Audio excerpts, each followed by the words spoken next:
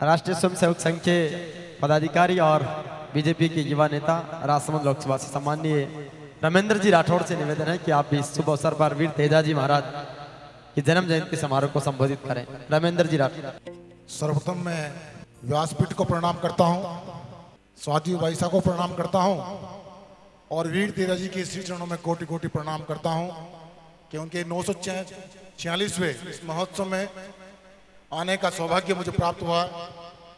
जो को भी लोग अटे माता बहन विराजमान है, पाँच दिनों जो कथा सुन रहा है मन में जो तेजा जी के प्रति जो भाव है, श्रद्धा है, उन भाव और श्रद्धा में प्रणाम करूँ और मैं तेजा जी श्री चरणों में प्रार्थना करूँ। कथारा माध्यमों व्यास पीठ आपने तेजा जी के जीवन चरित्र बारे में सब कुछ सुनना मिलियो। संक्षेप में आई प्रार्थना करूँगा, तेजा जी रे श्री चरण मायने।